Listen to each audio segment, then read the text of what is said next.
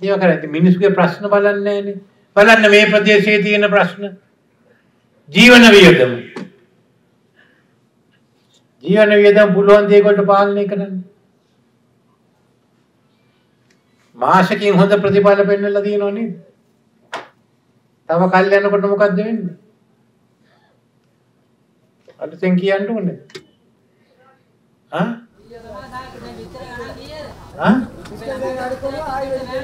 ඔව් ඉතින් ඉතින් මම මතක තියාගන්න ලංකාවේ කිකිලියෝ කිකිලියෝ ඔක්කොම මාලිමාට විරුද්ධයි. ඒකයි වැඩි කරන්නේ.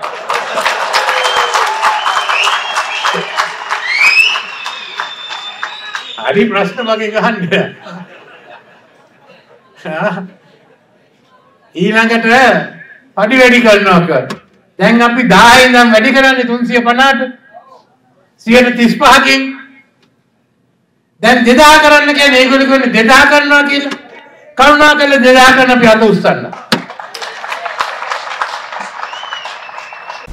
සවියයි විශ්වාසයයි දුමින්ද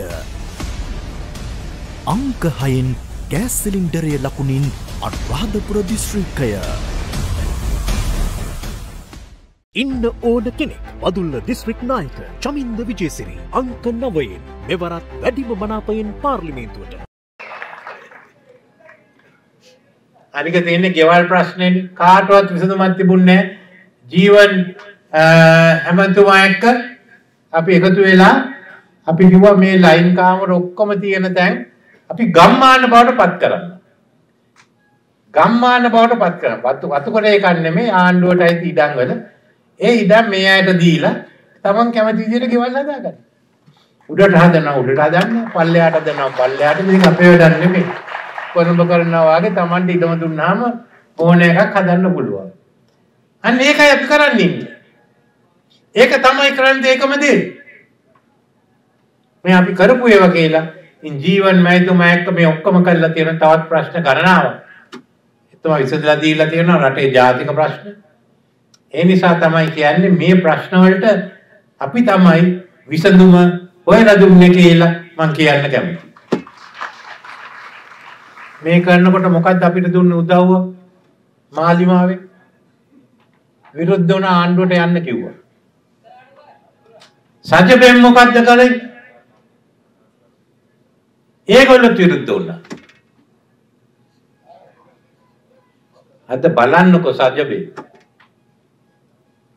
කාඩ්බෝඩ් අනුර දිසානාය කෙනෙක් ඉන්නේ.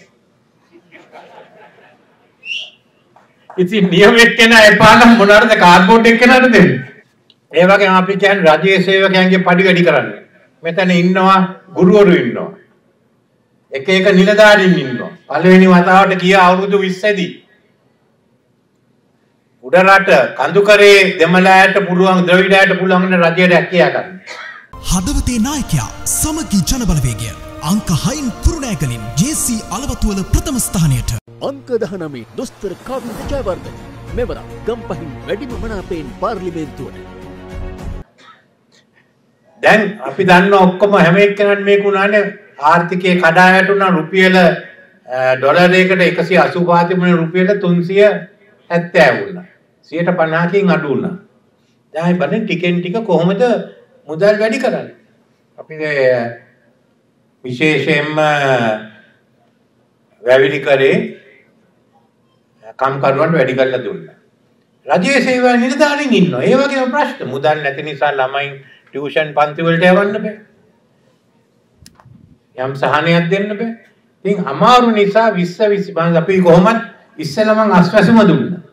අස්වැසුම තුන් ගුණයකින් වැඩි කළා. ඊට පස්සේ මොකද්ද කරේ? අපි ඊට පස්සේ ක්‍රියා කරේ විශේෂයෙන්ම රුපියල් 10000 දුන්න ආණ්ඩුවේ සේවකයන්ට. ඒක මදි. ඒ වෘත්තීය සමිතිය ඔක්කොම කිව්වා ඒ වෙලාවෙම අපිට වෙන සහනයක් ඕනේ. ජනතා විමුක්ති පෙරමුණක 20000ක් කරන්න කියලා.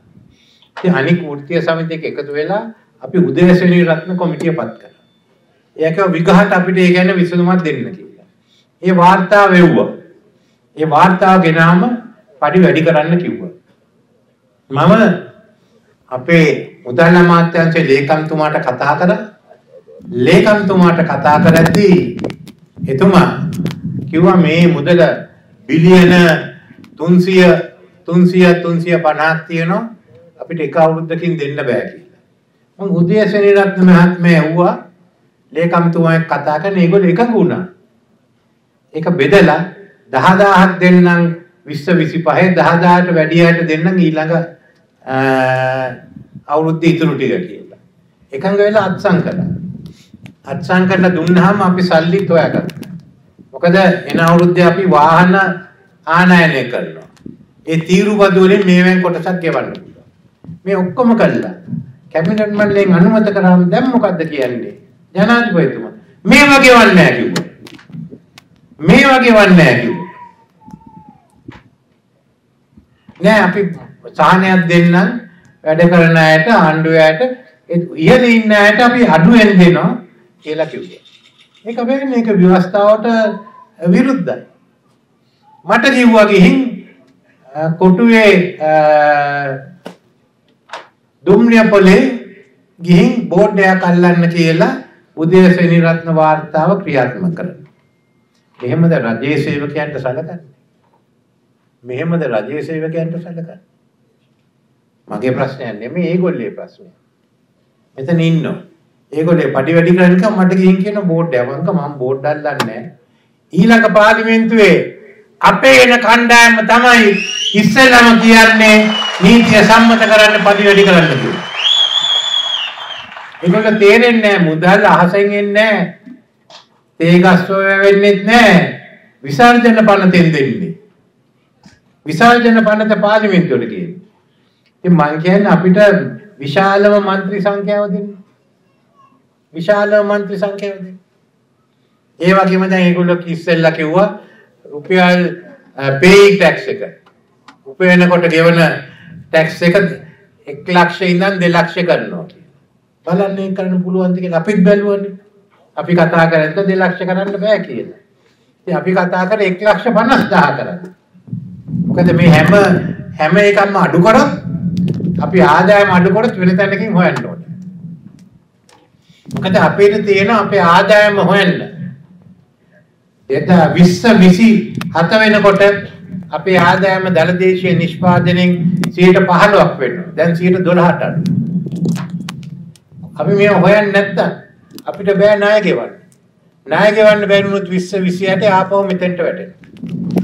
ඒ විතරක් නෙමෙයි. අපිට 20 28 වෙනකොට අපේ ප්‍රාථමික අයවැය ඒ කියන්නේ විශේෂයෙන්ම අපේ ණය ගෙවන්න ඉස්සෙල්ලා තියෙන මුදල් වල අතිරේක්‍ය 2.3ක් වෙනවා. අද 0.6ක්. ඉතින් අපි මේව හොයන්නේ නැත්තම් මේ වැඩ කටයුතු කරන්නේ නැත්තම් අපිට ණය ගෙවන්න බෑ. ණය ගෙවන්න නැත්තම් අපි ආපහු අපිට ආධාර දෙන්න ඔක්කොම නැවතිලා විශාල ප්‍රශ්නයක් වෙනවා. මේකයි රටේ ප්‍රධාන ප්‍රශ්නේ. ඒ ගැන කතා කරන්නේ. මම කියන්නේ IMF කිවිසුම ඒ වගේම ක්‍රියාත්මක කරන්න. අපි එකතු වෙලා බලමු මේ ලක්ෂ 1 ලක්ෂ 50000ක ලීට ප්‍රස්තාව ගෙනියන්න. මෙතුමන්ලා දන්නවා මෙතුමන්ලා කතා කරලා තියෙනවා IMF එක්ක. දැන් හැඟවුණු අපේක්ෂක දැම්මා මොනවද? IMF දන්නවද මේ මිනිස්සු? මෙහෙම අය ඉන්නෝනේ පාර්ලිමේන්තුවේ. මේ දන්න අය කතා කරලා තියෙනවා. ඒකයි මං කියන්නේ. මේ සියලු දෙනාම අපි පාර්ලිමේන්තුවට එවන්න. මේ රට ආපහු ආර්ථිකය ආරක්ෂා කරන්න. ජනතාවගේ ආදායම් වැඩි කරන්න. මාදිමාවෙන් කරන්න බෑ. දන්නෙත් නෑ. දැන් එන අපේක්ෂක ගැන කවුද දන්නවද ඒගොල්ලෝ මොනවද දන්නේ කියලා? ඒගොල්ලෝ ආර්ථිකය ගැන දන්නවද? අපි දන්නේ නැහැ. ලී කෙලි නටන්න දන්නවද? ඒකත් දන්න මොන මිනිස්සුද ඉන්නේ? ඉතින් දන්න අයට දෙන්න ඕනේ ආර්ථිකය ගැන. කරන්න පුළුවන්. ඒකයි අපි කියන්නේ නොවැම්බර් 14 වෙනිදා නුවරඑළියේ අලිය ළඟින් කතරේ ගහන.